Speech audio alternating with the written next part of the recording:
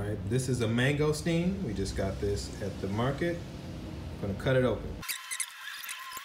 And then you open it. Mm. Hi, my name is Lee. And this is B. We love to travel, and we have very strong opinions. This is beautiful. So we took it upon ourselves to visit some of the highest rated places on the internet to make sure they were really worth visiting so that you don't have to. You're welcome. Not doing that.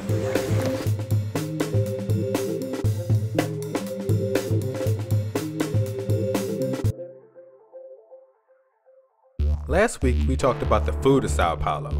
This week we're visiting the Sao Paulo Museum of Art. Adult tickets are $10, students, teachers, and anyone over the age of 60 are $5, and children under the age of 11 get in free. The Sao Paulo Museum of Art is a private, non-profit museum founded in 1947. It's the first modern museum in the country. Today, the MASP collection brings together more than 10,000 works, including paintings, sculptures, videos, and books. I like how for the permanent collection, everything is brought together in one room, regardless of when or where it was created.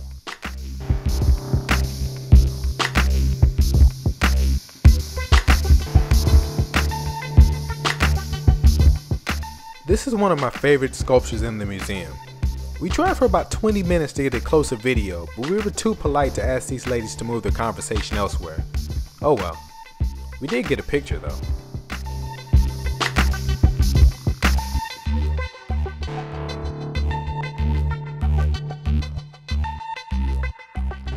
The museum's exhibits are more curated, and the Afro Latin exhibits are not to be missed.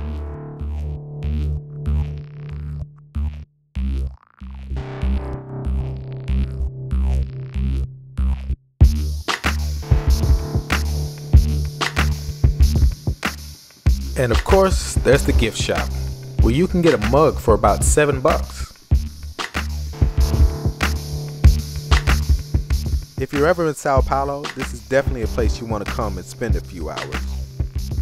So thanks for watching. Please like and subscribe and go to thejourneybean.com for more pictures of our trips. And join us next week when we'll be at the Iguazu Falls. Really out here. Getting wet.